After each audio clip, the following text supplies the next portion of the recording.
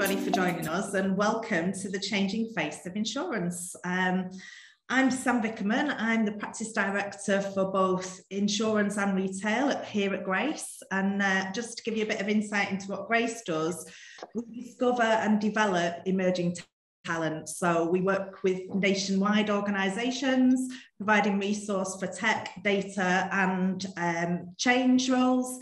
My role essentially is to support and ensure that clients get the full potential from our analysts and consultants and that the service is as expected and then some, which, uh, you know, thankfully to the guys on the uh, call today, I'm sure they'll uh, agree.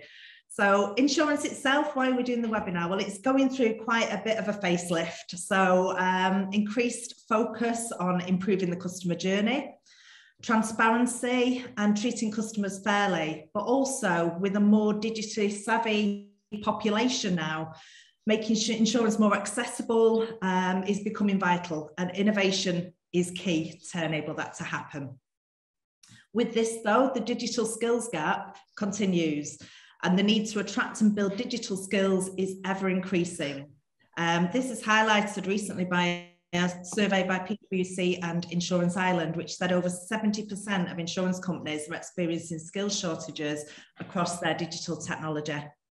So we're here to hear firsthand on how the industry is facing into the changing face of insurance. Um, we're going to ask some questions of the of the uh, people on our panel. We're going to get Ben to introduce them. Part way through, I'm going to wake you all up and have a little bit of a quiz. So a bit of a fun insurance fact quiz. And then Ben is going to continue with the questions. And at the very end, there's an opportunity for you guys listening in to ask us some questions and we can put those to the panel. So thank you for joining us. Really excited about this event. And I'm going to pass over to Ben.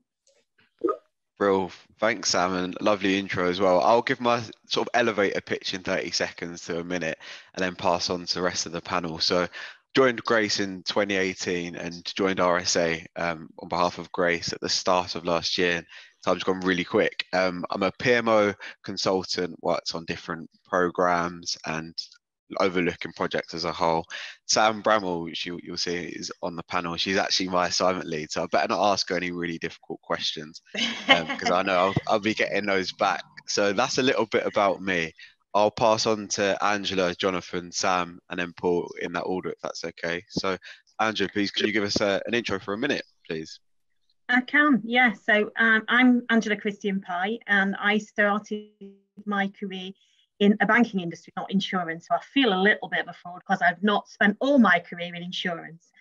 However, um, I worked um, for 25 years at the Cooperative Bank, mostly in change roles, and latterly um, looking at um, banking and insurance with co-op insurance. Some of my portfolio of change included the insurance industry as well. And then I moved um, a group where I now am the test practice manager, and I have a team covering all the heritage brands who undertake um, test activity um, to protect our brand, our digital delivery pipeline, etc.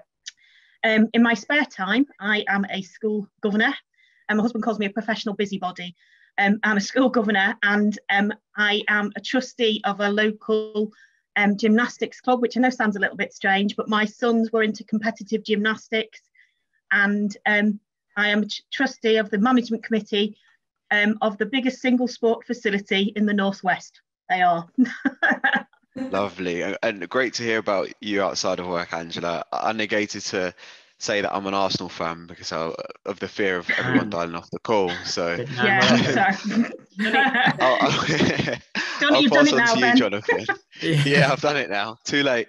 Well, I'll pass name, on to you, Jonathan. Hi everyone. My name's Jonathan. I'm an Arsenal fan as well, Ben. So that's all good. Oh. Um, I'm the business manager for the IT and data function um, at Beazley. So I support our chief information officer and the chief data officer in all of the outcomes they're trying to achieve.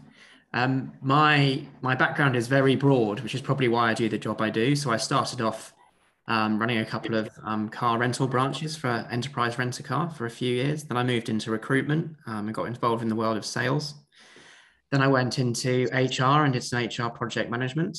Um, then I came to Beazley and I worked as a HR business partner for a few years before moving over to become a, a business manager. So the breadth of my experience really helps me um, set up governance and um, define strategy and operating models and manage budgets and all that all that stuff that needs to happen to make sure that divisions are are running as smoothly as possible. In my spare time, apart from support Arsenal, um, doesn't take me long to start talking about CrossFit. I'm a very, very keen CrossFitter, so um, I love to do that in my spare time. I'm also studying an MBA, so um, I do a lot of reading and write a few papers in, in um, you know, at the weekends and things like that. So, uh, so that's me. Thanks, Jonathan. Uh, over to you, Sam, and then on to you, Paul. Thanks, Ben. So I'm Sam Bramall. So firstly, I just wanted to say thank you so much for the opportunity to share my thoughts and experience with you all today. And I do hope it gives you some further insight into the insurance industry. So I work within the UK change function in RSA. Um, I've recently been appointed as the UK head of PMO for RSA, which is very exciting. Um, I have over 15 years or plus experience in project delivery, uh, lots of different industries, so similar to the other panelists, so from business services to financial, um, I joined RSA in 2014 as a project manager and more recently moved into sort of leadership roles within the program office. So I've got a really good balance of delivery, governance and assurance, which is really key to my role because I can kind of see both sides. Um, and as you know, Ben, in my own time, I have a very keen interest in learning and development and coaching. Yeah. So I'm currently working towards an apprenticeship to gain uh, professional qualification in coaching because I really truly believe in the benefit that it brings to our workforce. So I'm always looking at ways on how to bring that to life within our organisation. And that's me. Thanks, Sam. Uh, on to you, Paul. Thank, thank you, Ben. So hi, I'm uh, I'm Paul Watkins. I'm the UK and I Change Director for RSA. I'm very excited to be here and thank you for the opportunity to share my views and to answer any questions you may have. Um, before I go on and talk about my experience, I just wanted to embarrass Ben and Sam. Uh, if you ever needed an example of what great looks like in a change management function, they're both good examples. Uh, so they're doing a fantastic job. Uh, we've got a lot happening and they're right at the heart of it. So uh, thank thank you to both and hopefully I've really embarrassed you. Um, so, so I have um, so I've got over 25 years experience in financial services, uh, ranging from building and leading uh, card payments processing capability for Visa, so Visa Europe in the day, uh, construction leadership of change management teams for Quilter, that is wealth management, and now for the last two years uh, with RSA in the insurance sector. I joined RSA uh, about eight weeks before the start of the pandemic. So January 2020 seems like a, a decade ago now. Uh, but over the last two years, we have transformed how we deliver uh, programs for RSA and we oversee the delivery of our busy but strategically important RSA change agenda. I've also worked with Grayce over the past 15 or 20 years as I'm a keen supporter of the business proposition but more importantly, I have a personal passion to help talent flourish within financial services. From my own experience, trying to break into financial services was harder than it needed to be. And therefore, I think uh, from working with Grayce, I can offer a route into the market that also gives talent a foothold, but also means that I end up with a hungry, talented, and passionate workforce. So overall, uh, a win-win. Hence why I'm really happy to be here. And thank you again for the opportunity. And I look forward to your questions. Thanks, Ben. Thanks, Paul, uh, and I appreciate that. Slightly embarrassed, but uh, it doesn't uh, negate from me asking you difficult questions over the next uh, 15 minutes. so I'll start a little bit about why I think insurance is important, and then ask the panel questions. So for me, insurance is something that benefits people, whether it's people, businesses, society, and in the event of you know the unwanted happening we all have it really, whether it's travel insurance, car insurance, home insurance, pet insurance. So obviously a very important industry for, for us um, and, and people globally, really. Um, Angela, I was going to ask you the first question, which is around insurance, okay. very important industry. But why do we think it needs to change by the title of this webinar? And what is your organization doing to maintain a competitive edge? Um, it's a good one, really, and and I found quite a stark difference when I joined the insurance industry from banking. When um, in banking, it's about building long-term relationships. You not might not make money from a uh, relationship in the first four or five years. Where insurance is a little bit more. You've got one year to make the difference. So um, I think where the industry is facing with the challenges of the FCA re- regulations around fair pricing, it's really turned retail insurance, um, specifically the market, on its head. Um, the regulations have rightly challenged the industry to respond more in the interests of the customer um, and, and move in that direction. The car insurance industry, for example, is dominated by um, price comparison websites. You you know what I mean there when I'm talking about the aggregators. So compare the market or Money Supermarket, which in terms of um, driving down price have really worked in the interest of the customer.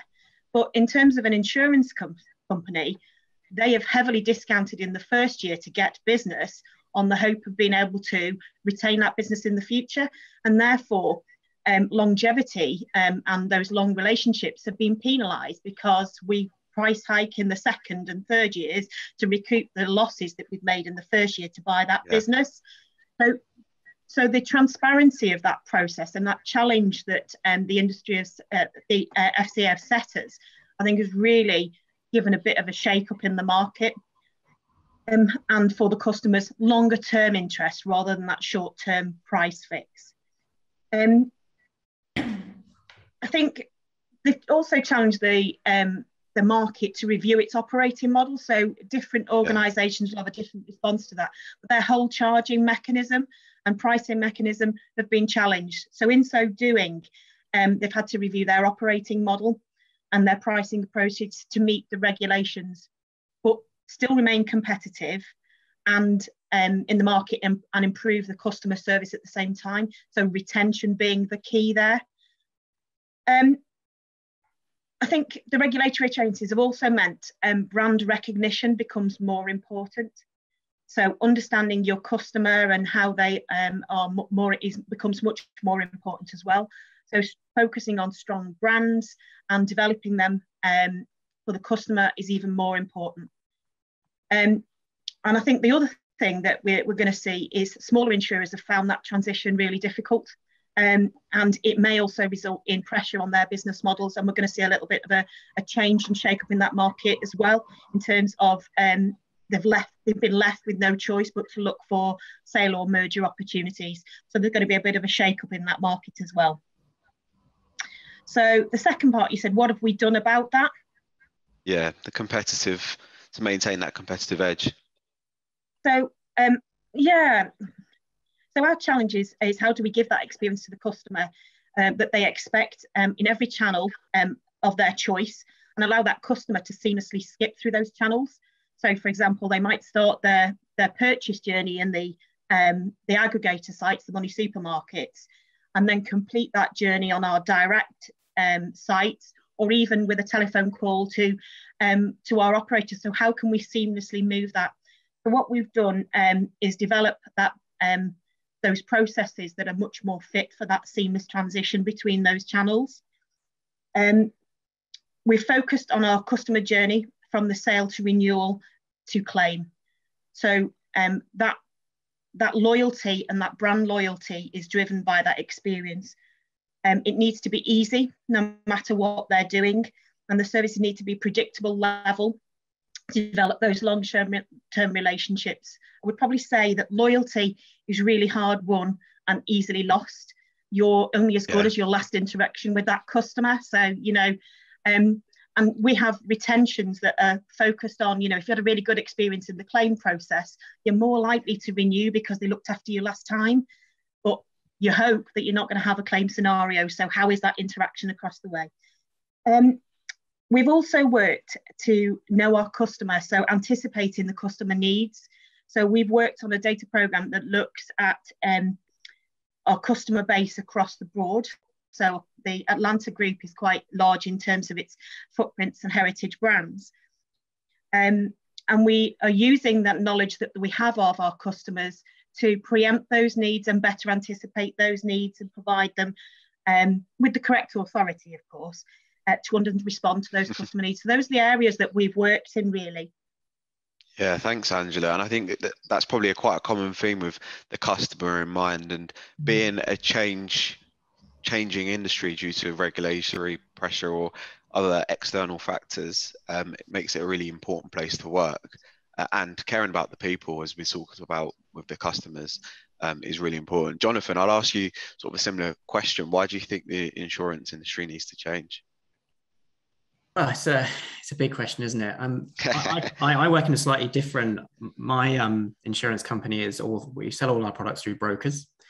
Um, so it's a business to business arrangement, and a lot of it goes through the Lloyd's of London um, marketplace. Now, yeah. I hope that the industry doesn't change dramatically because there's so many good things about it in terms of the people you meet, the companies you can work for, the experiences you can be open to, um, and the training development that's available to, to all employees that work in the industry. But I think for me, beyond the regulation and having to deal with the with regulatory impact of, of having to change your business or your business model, um, we need to keep evolving to adapt to our customer needs. And that can be from speed of transaction um, throughout the policy life cycle and the claim life cycle, um, accuracy of coverage, um, being cost effective to do business with as a broker, um, be competitively priced, and also yeah. to, to really meet the customer where they want to do business. So, yeah. where how is it that we're doing yeah, how, how is it we want to do business? Where are our brokers hanging out? What's easy for them? And we'll go meet you rather than asking you to come come and meet us, if you know what I mean. Yeah. Um, so to maintain competitive edge, Beazley does quite a lot, and it's we're quite an innovative company with lots of pockets of innovation happening everywhere, all which is all very very customer focused. So to go through a bit of what we do, we we've got a product incubation team where they look out across the um, the market um, across the globe and understand right well what trends are there in technology um, or political social um, uh, economic um, environment and what do we think we could build new products for or um, create uh, solutions for our customers to help them feel safe or do business or whatever it may be?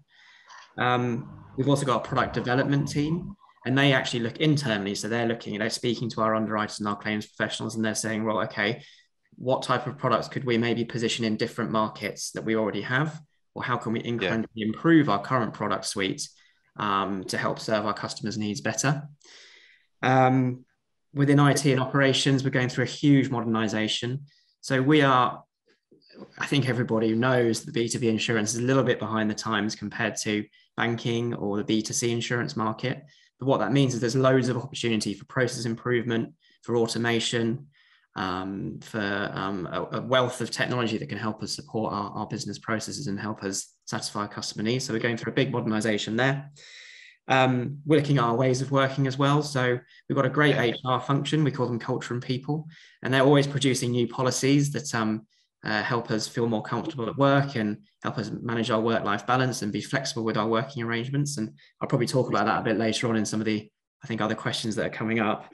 Um, not that I know the questions that are coming up, Ben. Sorry, let that loose. Um, we also sort of run hackathons and do loads of cool stuff where we involve our vendors and, and our employees in sort of being innovative and um, thinking about doing things differently. Um, and then finally, we we build partnerships. So we have a, a, really great innovation ecosystem. We we bring vendors in to help us solve problems together. Um, we partner up with InsurTech company as well to see the cool stuff that they're doing. Um, and we're part of Lloyd's Innovation Hub as well, just to sort of really create a, a community of people because we're not going to solve all these problems on our own. We're better as a community. We need to bring the insurance industry forward together, and so we really believe in building partnerships as part of as part of what we do. Wow, that's very important, and a lot's going on there. And I, I will touch upon some of what you've said in a in a question coming up. So uh, be on your Thank toes, you. Jonathan. But on on to Paul. Obviously, insurance to many, although almost everyone has it, as I said at the start of the webinar, can seem like a bit of a black box. So can you talk us a little bit about insurance and why it's changing as well? Yeah, I think um, so. A lot of what I was going to cover, really, I think um, uh, Angela and Jonathan have already touched upon, but it, it, but it's it, it's really key because the behaviours and needs of our customers is changing. Customers, including myself, people that are on this call, friends and family, they want more flexibility, optionality, and people are therefore looking, I think, for consumption-based insurance products. So we know for, for from our own experiences, um, people's driving habits and driving behaviour has changed during the pandemic. So therefore, they're yeah. not using their cars the way they were. They're also looking for uh, uh, insurance that touches with reducing carbon footprint. So how do we as an insurance business and an RSA respond to that? Uh, and, and, and also, uh, how do we make it easier for people to deal with this? So to Angela's point, part of retention is also uh, buying the product, but also the claims experience. If you unfortunately have to, you know, you prong, prong, prang your car or do put, put, put a nail through a pipe when you're doing some work at home. But so therefore, the customer experience I think is really important, um, and it's not just about loyalty. It is just it is more importantly about retention, and that retention comes through offering bespoke risk-based products unique to a customer needs and no longer one size fits all the first class yeah. experience that I've spoken about, but also making sure that in the changing needs of the market, we provide a competitive price, but also insurance can make money. So there's a balance we have to continue to achieve uh, through that because it's all also about maintaining regulatory position. It's about having a happy customer base, but also its revenue uh, as well. So we've got to make sure we balance yeah, that yeah. very carefully. So, yeah. so therefore, if I think about what RSA is doing in, in, in this space to help with maintaining and evolving our competitive edge, it's it's kind of we're looking at three or four things. So exceptional insurance-based products. So we as an organization, as with the other organizations on the call, offer insurance from a single shop on the high street all the way through to multinational corporations. Uh, corporations. How do we do that? Uh, we've got to make sure we provide the right product and without any unnecessary bells and whistles that will never be used. So we just got to make sure we find the sweet spot. We've got to do pragmatic risk consulting. So therefore appropriate bespoke design cover, which means we need intelligent people based upon data yeah. and also decision making to offer that to, to people. Reliable claim service, so ease and transparency is key. And also it's got to be designed by experts. And that's where people really are at the heart of insurance.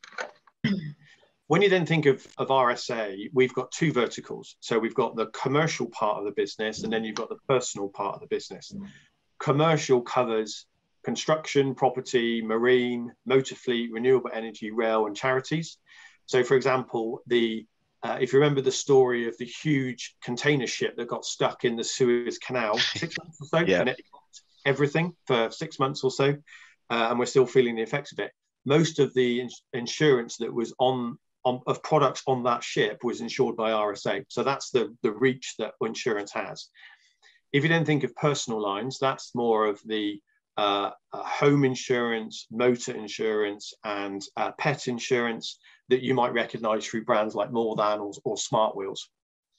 If you then think of Smart Wheels, that's an opportunity where technology innovation has helped drive appropriate price point for insurance because for entry level insurance uh, drivers, they used to be hit by quite a large cost when it came to their first year of insurance.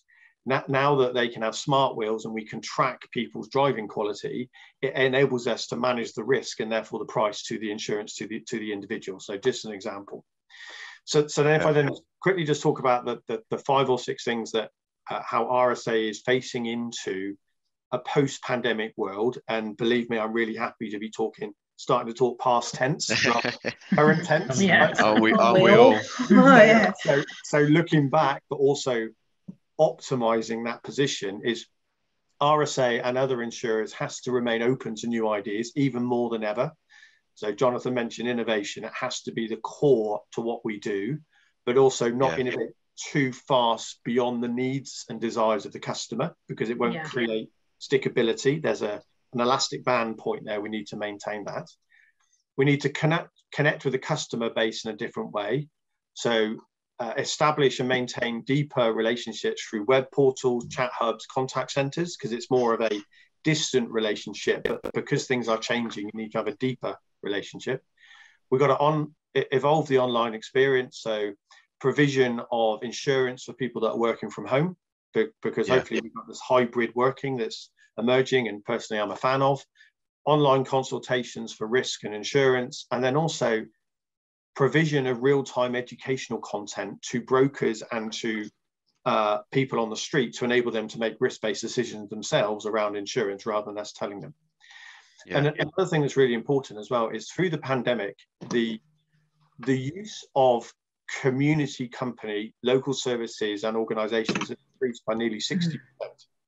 So where people are not traveling long distance, they are staying more local, they're investing in their local services and community. That therefore means the insurance to those local community has to change to reflect the increase of demand, but also the importance of them in our society. So that so that's a subtle shift. Yeah. And then finally, RSA, and I'm sure every other organization that's represented on this call, is showing that they care for their people, uh, because that's mm-hmm. that's really come to the front over the last couple of years. We need to put people first. There's a real drive to focus on well-being and health. We, we, we know that it's important and it's very current to do that. And then also make sure that the pastoral care part of everything we do is really benefited through our marketing and publicity to, to not only to Angela's point, recognize the brand strength when it comes to regulatory response, but also if you're an organization that cares, you can attract good people and retain good people as well. So that's that's yeah. really key. Thanks, Paul. And I think you touched upon a lot of the trends there, as did as did Jonathan. And um, no pun intended in, in terms of car insurance, but the black box you've really opened up and shown how fluid insurance is, and most importantly, I think for me, showing how insurance doesn't just change due to regulation; it changes to everyday market conditions. Um, Angela, as Jonathan and Paul have talked about trends, um, I wanted to know what you've seen uh, in terms of trends in the insurance industry, and then we'll go on to Sam uh, to go to the poll. Okay, so I think um, customer trends um, customer expectations have rapidly changed um, in recent years, and I think I think Paul mentioned this in terms of expectations. They've gone um, to have a much more Amazon expectation in their their insurance buying. So they want yeah. it today. It's, you know, it's sorted within the next 24 hours. So so their expectations have really changed, and that that is partly because we've got a younger, more tech savvy um, customer base, but also because it, culturally our expectations have changed as well. And um, so, so their expectations are a bit more like a pure retail environment. I think Paul, you mentioned about, you know, um, transactional um, insurance. You know, insure me for a week because I'm doing a long journey. I need a different car. Yeah. I don't need car all the time, for example. Um, so, so that there's those changes, and I think COVID has really accelerated that not only in the customer's expectations, but how customers want to interact. Swinton Insurance had quite a big, it had gone nearly before I, I joined in, in 2018, but quite a brand high street presence. Those are, days are gone. It, customer, you know, gone are the days where the customer would go into a branch to purchase their or even talk about their insurance policy. Yeah. And um, and some of you younger guys won't even remember that happened before, but that's how it used to be. We used to have um, a branch network. So those days have gone. Um, customers demand um, and simple, intuitive um, ex- uh, tra- uh, transactions. So yeah, so they're looking for um, improve slickness of transactions as well. I think um, the biggest trend we've probably seen is the customer propensity to transact digitally as well. So it's not just yeah. us driving for, you know, the cost of servicing a customer down. The customer is demanding that anytime, mm. anywhere interaction. Um, so we've invested in um, digital channels, we've invested in um, improved telephony systems and platforms that go across the group, um, live chat and instant messages so that the customer can interact when they want, how they want, how they want. Um, yeah. So I think that's a good line there, Angela, as well about the sort of digital journey and being able to access or purchase insurance wherever you are on whatever device. Um, we will come back to questions, and I'm very keen to hear from Sam Bramall on our next questions. But I'll pass over to Sam Vickerman for the, for the poll.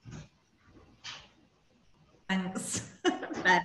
And I feel really uh, bad now for breaking us up with a bit of a poll because uh, it's getting interesting and really good insights. As promised, we'll go to a quick poll, make sure everybody's wide awake on the call that are listening in to us. So, first question for everybody. What type of insurance has the highest market share in the UK at around 70%? So, obviously, listening to the guys talking, they referenced a number of different types of insurance today. Which one has 70% of the market? Shame we're not allowed to vote. What's, what's that? No, well. I was going to say, Sam, you could have given us the answers before this. okay, the answer was life insurance, believe it or not. So, life insurance has the biggest uh, share of the market. Honestly would have thought it was car insurance. Completely agree with you guys. So i think there's lots of mm-hmm. wives and husbands insuring the other halves and they're probably not aware of it for life insurance. So anyway on that might be me. Which of these celebrity insurance policies is false? So not which is true which is false kiss frontman gene simmons had his tongue insured for a million pound at the peak of his career Influencer Kim Kardashian insured her famous derriere for 21 million. Footballer David Beckham had his legs insured for, in 2006 for 100 million. And wrestler Dwayne The Rock Johnson insured his back for 5 million in the early 2000s. Oh, wow. They could all be true. Great. Yeah. yeah, they could all be true. Yeah, yeah. spread. So actually, the bulk of the audience were correct on that one. It was wrestler Dwayne The Rock Johnson. The rest is true. Kim Kardashian's uh, mm. derriere and Beckham's legs. That that all happens through Lloyd's of London, the, the marketplace I was talking about earlier. Yeah. Oh, wow. so well done. Question three.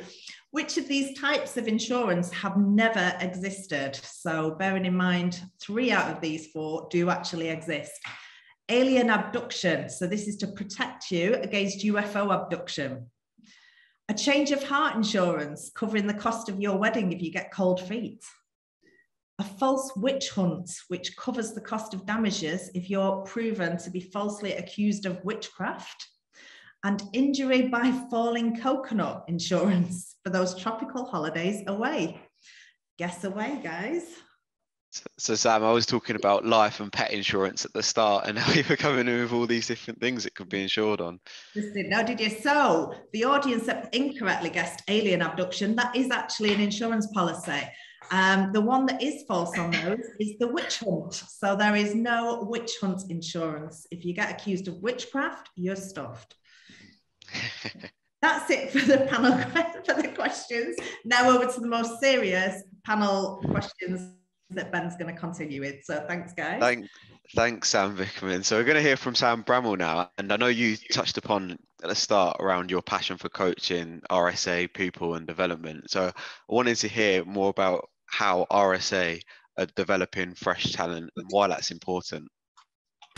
Oh, you know, people is like the, my, the topic I enjoy yeah. talking about the most. So uh, I'm glad I got this one. Um, well, first of all, I think it's such an exciting industry to work in. It's so fast paced. And in fact, it's the most fastest paced environment I've ever worked in. And I've worked in so many industries. Um, you know, we have to use innovation to meet the needs of our customers.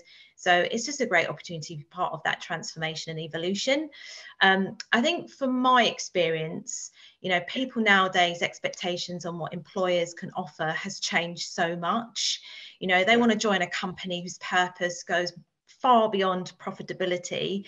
It's not just about the role from a day to day point of view, but it's about company values. They want to know where we stand on DNI, social, environmental issues, health, well-being, you know, and, and we as an organization are very passionate about raising awareness of these topics, you know, including yeah. how we're committed to meeting our climate change commitments.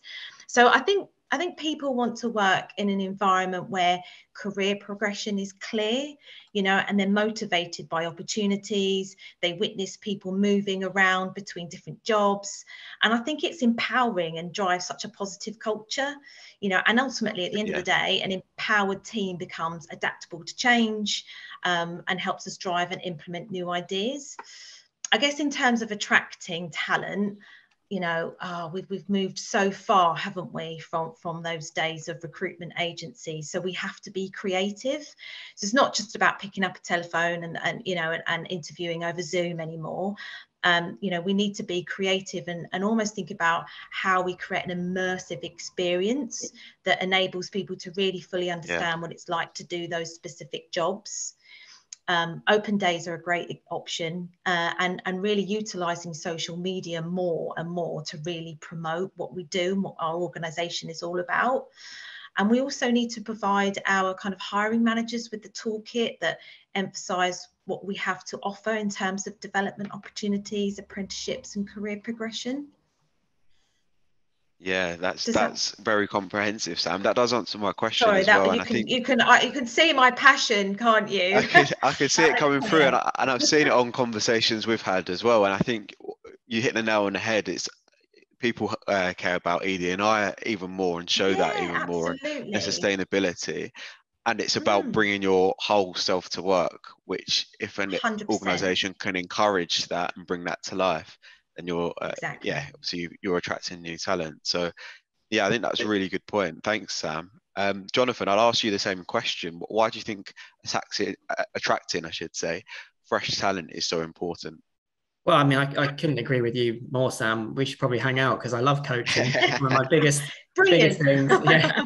And I think creating great places for people to work, be that from I&D activity, well organized companies, a great strategy, a great purpose is just something I absolutely love to, to talk about and, and implement. So I think when it comes to Beazley, we're, we're really focused on building a, a, great company, and, and that should do the talking for you, I believe. And as long as you get your, your marketing right, the company you build should should follow through and, and attract the right people. So as I say, it can, it can be HR policy. So we don't actually have working hours. You you have a 35 hour working week as you're part of your contract, but you can fulfill that however you want, which is fantastic. We do shared parental leave for, for parents. Um, you get a free lunch at Beazley as well, which is you know something that's that's means you don't have to worry about going to going to Pret there, there is such a free as a there's such a there thing as well, you have to work you have to work right, but you know it's, it's you have to put your pocket money in your hand in your pocket. Um, and, and we're really flexible with where you work as well. So we've got great office spaces, but um, you can work from home whenever you want and, and be as flexible you like around that. Um, we focus on our leaders. So across IT and data, I've been implementing a coaching culture um, um, program for the past two years, which is sort of helping our our leaders lead better and, and ask ask questions rather than tell, but also help us interact with the rest of BDs as well. Because in a IT and data world, things can become very complicated very quickly. So you have to be able to empathize with the, the people around you to be able to solve their solve their problems. Um, we've got a huge focus on I&D, and I've been told to plug. So I'm going to plug on Friday next week. We are um, going to we're going to be presenting at the Tech Talent um, Women in Women in Tech um, Tech Talent event that's happening in Central London. So we've got a um, uh, a stand there. So please come and see us and, and talk to us about what we're doing in um, the wonderful world of tech. Um, we've also re- fairly recently hired a head of sustainability to look at responsible business because that's something that's really important to us as well. Um, we invest huge amounts in learning and development, um, and we love to partner with people like Grayce as well, who, who also do the same. And so it kind of it's a really good marriage um, to, to partner with companies like that. Um, our workspaces are really important to us as well. So even though it's flexible, we want you to be in the office sometimes to, to you know do, do the things you need to do. But we, we provide spaces to you know, quiet spaces called a library to do your, your spreadsheets or your papers or whatever. We've got collaboration zones. Um, we've got presentation areas and all this sort of thing. So we like to um, you know think about that as part of our uh, building a great business.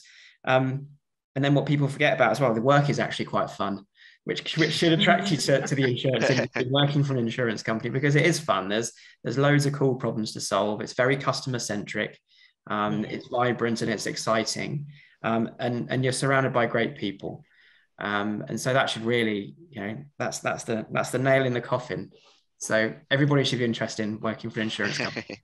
That's a, a, really great sales pitch there, Jonathan. I think it is. A, Can you yeah, tell I work in sales? Could you tell that I work in sales? We, we, can tell.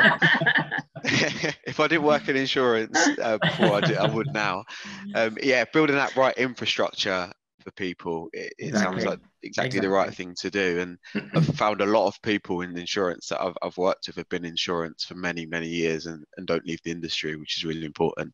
Um, I'm conscious of time, and I know I did promise Sam. I said we'll get to Q and A, so I must leave some time for that. But Jonathan, we talked about trends earlier that you've seen now. What sort of upcoming trends do you see in the near future? Well, I had to do a bit of canvassing for this, so I'm, and I'll, I'll, answer quickly so everybody else can have a have a go as well. But um, as I mentioned, there's there's going to be more partnerships. We can't solve this on our own, and we can't wow all our customers on our own. So there'll be more of that. Um, and yeah. that's with insurtechs, with, with vendors, with other insurance companies, with our brokers, etc. Um, there will be much more tech. Tech is with us. Tech is developing at a huge rate. You know, we're looking to harness automation and robotics, data science, anything that can improve our processes and get as close to our customers as possible. Um, agile ways of working as well. If you're listening in, you don't know what agile is, learn because it's something that it's how a lot of change organizations yeah. will, will, be run. Um, and it's something that really helps you um, test and learn, deliver iterative um, value for the company. Um, and it's a great way of getting close to business problems as well. Um, and then there's loads of stuff around product, which you know we can talk about things like space industrialization, nanotechnology, water wow. supply issues, aging population. We've got all these external factors we need to think about as well. So there's, there's those trends to, to consider too. Um, but I think just to, to, to sign off this point, there was one trend that won't change is that good people who work hard will always do well in the insurance industry. And so that's that's that that's a trend that's here to stay. Wow, thank you. Yeah, that's a good ending point on there. And I, am sure that our panel uh, will be getting some LinkedIn messages about insurance and uh, and the next upcoming yeah, trends and why to stay send in them it. Over, absolutely. Yeah, they're, they're welcome by our panel, as you can see, uh, the audience. So, Angela, I'll ask you the same question around around trends. So, um, I think you know, Jonathan, you've touched on quite a few of the ones. So I'm just going to skim through. Um, I think one of the um, approaches that Atlanta has, so Atlanta, I think, um, has gone through a process of um, transition in the fact there's a number of different companies that have been brought together under the Atlanta brand. So I think Sam, you mentioned about the um, the culture and the values of an organisation are really important. And what we've we've gone through um, in Atlanta is try to confirm what Atlanta is. So rather than, you know, you've got your Swinton values, you've got um, the culture of Carol Nash, the culture of AutoNet. So we're going through that process of redefining and reforming what those values are, which I think is really important for the company to be cohesive and move forward. But the way we've done that is actually making sure we've had our colleagues involved in that. So it's a colleague-led set of values um, to, that that drives that cohesion that we can all get behind, and I think that will really help um, one of the other things um, not mentioned by you, Jonathan, in terms of attraction of talent is we've also looked for offshore partnering. So there has been, um, we found it particularly difficult, and I think Sam, you mentioned it earlier, um, tool savvy um, talent, especially in the Manchester and Stoke area, that's had a bit of a boom in that um, that area. And the Atlanta response has been to, we looked at nearshore, um, you know, Eastern Europe and European solutions. Um, and we and then had to look a little bit wider than that because we felt that we weren't going to be able to attract the talent that we needed in the nearshore environment. A lot of the banks have already done that. So we've partnered um, offshore in Vietnam. So we're we're in a partnership with um, uh, Global, which is part of the Harvey Nash Group. Um, and we've got offshore development teams that have, have become an intrinsic part of our our Atlanta family, really. So we don't regard them as a third party supplier. They're an extension of our existing digital development teams. And that partnership, the common language, and that um, cultural engagement with those groups is really important. And I think um, I think it's one of the things you mentioned before about the agile delivery. It's absolutely bringing home how that is really important in those digital spaces and working with those third party partners. Um, and obviously, from my point of view, something I'm really keen about because, in terms of a test manager, we're looking to drive quality through that delivery pipeline. So, therefore, understanding and having transparency in that relationship is really important too. Uh, and that's what I think, I I've heard a lot thing, on this call, uh, Angela. So, sorry to interrupt you. I was just going to say uh, that's what I've heard right. a lot on this call about uh, partnership. Um, that seems mm. to be a, an upcoming trend going forward. Obviously, all of the organisations on this call work with Grayce, um, and have seen that partnership flourish over many months and, and years for some organisations. So that seems like an upcoming trend as well. Absolutely, absolutely. Um, just I'll, I'll, pass on to Paul to get Paul's view, and I know Sam, you'll have a view as well about trends. You're always looking forward, so um, we'll go into Paul uh, uh and then Sam, and then we'll go into Q and A's. Yeah, thank, thanks, Ben. So, so I think um, the insurance market is dealing with the challenges that the banking industry in financial services dealt with maybe 10 years ago.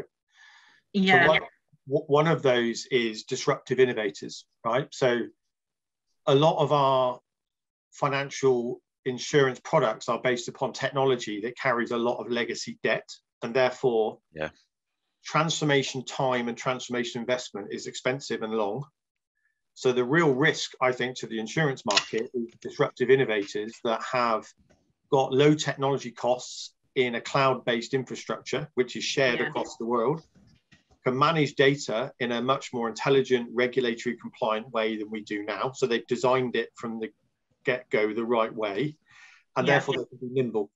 So, so I think part of part of the, the next wave is going to be disruptive innovators into the market that can offer consumable and behavior based insurance. Because I personally get irritated when I look out the window and I see my car parked on the drive. In 30 years, I've never had someone hit me on the drive, right? So why can't, why yeah. can't my insurance be different when I'm driving it? Because I've got a mobile phone in my pocket that knows I'm moving as opposed to being sat on my drive. Why can't it be different, right? So that is very futuristic, yeah. Paul, and I like that. Yeah. So I'm, I'm, gonna I'm gonna claim that idea. If anyone wants to Dragon Dragon's Den, just give me a call. but, but, but I think I think the point is the challenge is disruptive innovation. The opportunity is connectivity between data, technology, and intelligence in talented people to come up with ideas that the, the banking industry dealt with 10 years ago. And I think the final one for me is listening and responding to the drumbeat of society. One of them is carbon neutral, climate neutral.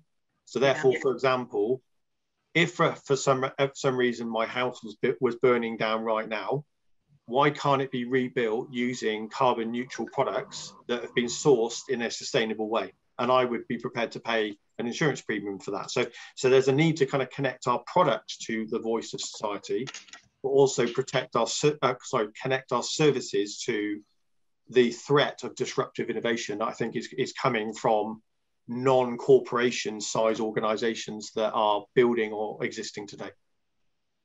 I completely agree, Paul. That, that is one of the things that we were we're saying is, you know, as well as the regulatory, um, there's still going to be more regulatory change that we're all going to need to respond to.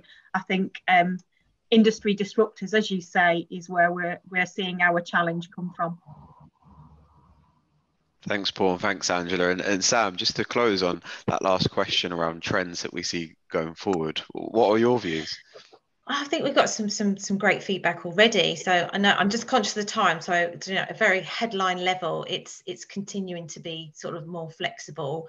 And for me, it's about simplifying that purchasing process. And I say that from from a personal perspective. You know, yeah. when you're going through that customer journey and you've got streams and streams of, of, of questions, it's it's simplifying that process so that perhaps I don't know some of that information is auto filled. So I think you know data yeah. and analytics is going to play such a massive you know role in that going forward um, yeah. as long as role profiling, you know, and those, you know, if you think about Facebook and those algorithms that work in the background and work out what your next move is going to be, all of that is, is, is, you know, it is going to be a big part going forward. So let, well, we'll see much more of that.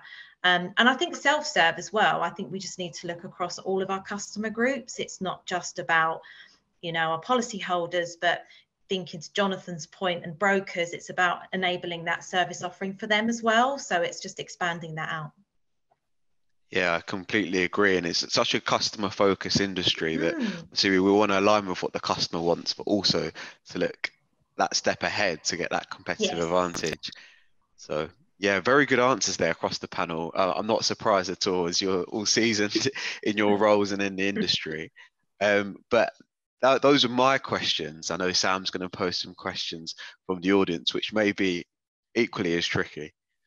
Yeah, I mean, to be honest, I'm looking at the questions that have come through, and some of them have been answered, so not too hopefully challenging. team. Uh, I'm asking each one of the questions. I'll split them between you all. So uh, the first one, I'm going to go to Sam because you're particularly passionate about this subject. So, what Ooh, advice what advice would you give to a graduate or a young professional starting out their career in the insurance industry? And what are the top skills that you'd be looking for? Great question. Hmm, if I'm just thinking about the, the, types of candidates that I, I just think somebody who's kind of quite adaptable to change. I mean, especially if I think mm. purely for my, my, from the area that I recruit in, it's governance. You know, um, we are heavily regulated. There's a lot of information. Um, I think, yeah, I think it's a it's just having a really good attitude. That's what I always look for is somebody who's got a, a really good attitude, who can work with people, um, who's dynamic. Um, because sometimes you have you're thrown in situations where you know you don't always have the resources around you um, it's not always ideal and sometimes you have to build that knowledge and get kind of stuck in um, but it's a, as, I, as I repeat what I said earlier, it's such an exciting industry to work in. Um, and uh, yes, yeah, some great opportunities there. I don't know whether that's answered the question at all, but that brilliantly answered. Thank you. Um, no problem. We got to Jonathan for the next one. So we've talked about trends already, but given that the biggest driver probably for change over the last couple of years has been COVID, what do you predict is going to be the biggest kind of change driver for insurance going forward? Oh wow, that's, that's huge. question.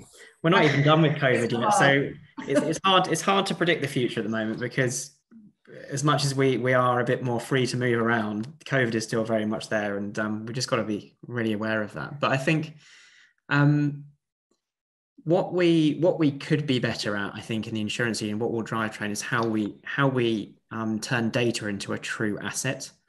Mm. Insurance, insurance companies have so much data available to them about their customer. Um, and for, for a customer, for, for the business side, you've got data about your, your broker as well as your customer. There's so much you can do with that. And I think that is an area that needs to be massively improved to be able to exploit all of that um, information and turn it into something of value. So data is is going to be on the, the everybody's lips over the next few years for sure. And it's definitely a growth area for us as well. Mm. I think yeah. that's something that appeals to a lot of our grads as they're coming through, which is great. Uh, right, I'm going to go to Paul for the next one. okay, what do you think is the biggest challenge in terms of implementing change within insurance? I think it is twofold. I think first is the ambition for change is huge. Yeah. So therefore, you can get swamped in the actual amount of change you have to do. So, however good your organization is at executing on change, realizing the benefits of change, if you've got too much happening, you just can't you can't move forward. So you have to be really precise. In my language, what are the four or five big boulders that the organization wants to get its shoulder behind to move them forward and not worry about the stones and the pebbles, right? You just have to focus on those boulders. Yeah. I think I think the second piece is um, yes, insurance companies are becoming more innovative in how they operate and how they think and how they execute, but they're still working into a market which is probably not that well aligned to the pace of change that's required. Yeah. So, so there's a real need to educate the customer groups, and these are probably more on the commercial side than on the personal side, because we, have already spoken about the personal behaviors and they're driving innovation. On the commercial side, it's probably more static, and we need to really drive that, and that is where the real opportunity lies. Uh, and therefore, we have to work slightly faster than, than they can cope with, but not too fast. So there's a little bit of a risk there that we need to take people on the journey with. But, but, but I think, therefore, what we need and the type of people we need in insurance are people that are not worried by barriers, they're not worried about guidelines or guide rails. They are prepared to accept risk and deal with it and keep focused on what they need to achieve and which boulder we need to push forward on. Because the risk that can happen is people get so focused on the stones and the pebbles, they lose sight of the boulders. And my single piece of advice to the graduates that wish to join us is keep an eye on your boulders. Don't lose sight of those because that is what yeah. will make a difference. That's what you'll be measured and that's what you'll succeed mm. on. Yeah, that's brilliant. And that that's such true. a good analogy, isn't it? Brilliant. And it partially answers yeah. the last question that was going to come to Angela for the last bit, which was we've talked quite a bit about attracting people to the insurance um, industry, and we've seen there's some really kind of powerful stuff to get involved in transformationally why do you think it's important for the insurance industry and insurance companies to actually have that diverse young talent and attract those young people to the organization because i know what you know we, we've talked also that a lot of people stay in insurance but actually what about attracting fresh blood to it and why is that important to you? So i, I think um, we, we need a, um, a, an employee base that is representative of what our customers want. So we can start to think like our customers. Mm. and you know i'm really conscious of you know an, an, a, being an over 40 woman that thinks like an over 40 woman with teenage children. I don't think like my 18 year old son who will be the future purchaser of car insurance for example. Um, so we need to attract that talent to ensure that we respond and reflect more of what our customers want. That is basic, and that's not specific to insurance companies, that's across the board. I think the second thing to remain competitive, we, we need to attract the best talent because we need to have the innovative, the flexible, the change to think differently, to think out the box. And that's not always easy, but that's what we need to do. Um, one of the challenges Atlanta have faced is because Atlanta as a brand is quite new, but the heritage organisations that sit underneath it it's quite hard to sell something that is new because people don't know what they're buying into, they what they're, they're joining, they don't know what the picture is. So that's where we've been working as an organisation to try and attract talent and to promote the Atlanta brand and what that means to us rather than work for Swinton or, or, or one of the other brands. I think so to stay ahead of, of the market, to stay ahead of um, and advance our customer experience are two good reasons why we need to attract new talent. Does that answer your question, Sam? It absolutely does. And to be honest, I've had more questions than ever before coming through today, uh, which is brilliant. Ah, that's good. We're hitting the right kind of um, level of information and audience are loving it. So I'm really sorry we haven't got to answer all your questions. And I actually will look at some of the themes that have come through. And if you guys don't mind on this panel, we might reach out to you to no, get not at all. answers. Uh, yeah, 100%. And we'll do, we'll do a, bit of an article or a show and tell on kind of some of those because uh, there's some brilliant ones could just come through as well. So thank you for your time. Absolutely um, loved the last hour. It's flown by. You've all given us some great insight into the insurance industry, why we should join it, what's changing, and why it's changing. And uh, I, for one, am truly excited about what the next few years bring. So, thank you very much, guys. Thank you.